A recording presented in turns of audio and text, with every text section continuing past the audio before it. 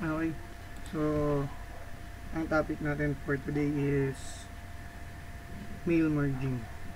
Right? Mail merging with the use of Excel to Microsoft Word.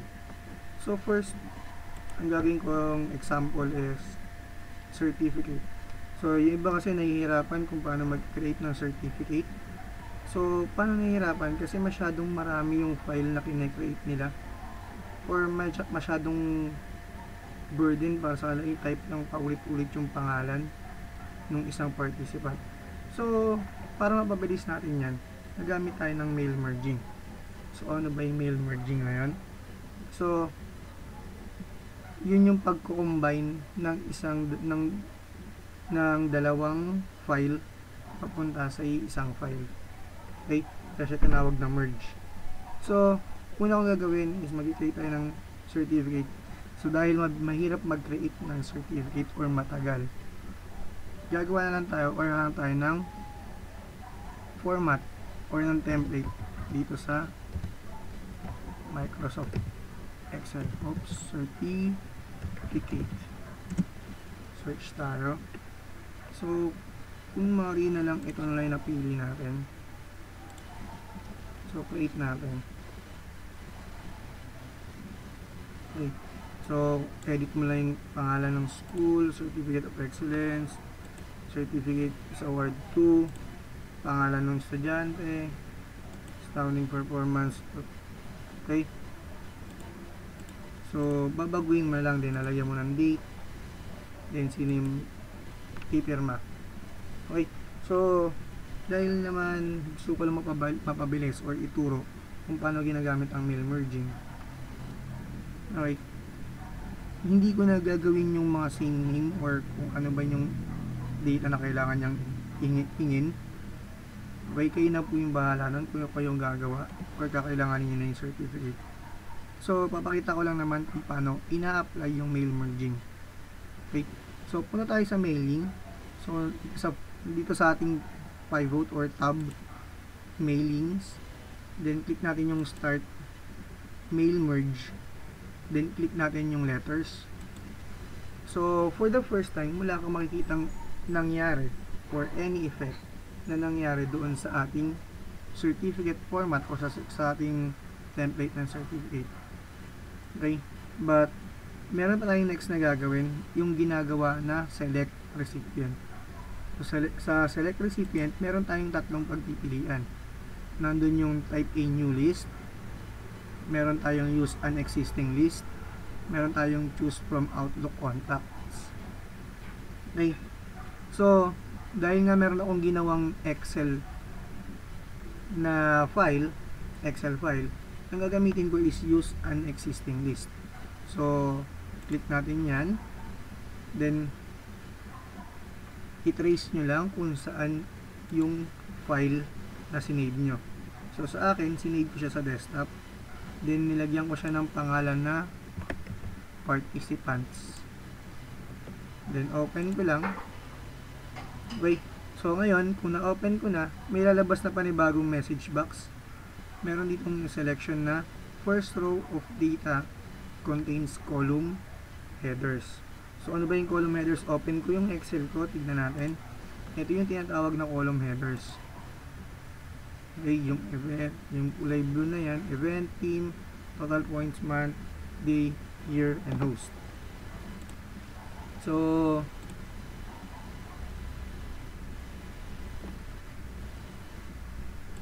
balik tayo dito. Okay, so dapat naka-check yan, then click natin yung okay. Okay, once na click natin yung okay, para tayo dun sa student name.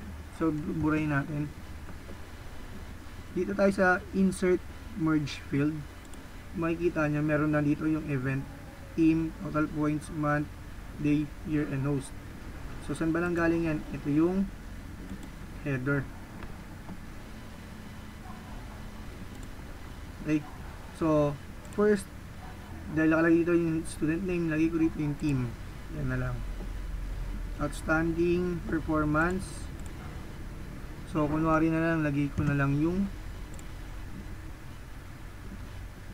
yung event. space.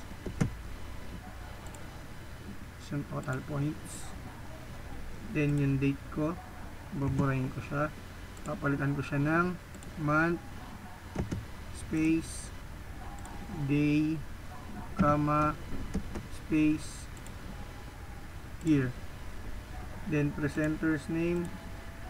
Lagay ko na lang yung post or ako. Yung ako niya lagay na pangalan doon. Then after nun meron tayong ititignan na isa pa. Like yung preview result. So sa preview result makikita na natin yung alin kung ano yung mangyayari dito sa ating format na mail merge so preview natin. So kung nakita nyo 1 glitch OG scrimmage 1 point January 1 mark 2 na. So saan ang galing yan? Ayun yung number 1 kung nakikita nyo ng number 1 sa ibabaw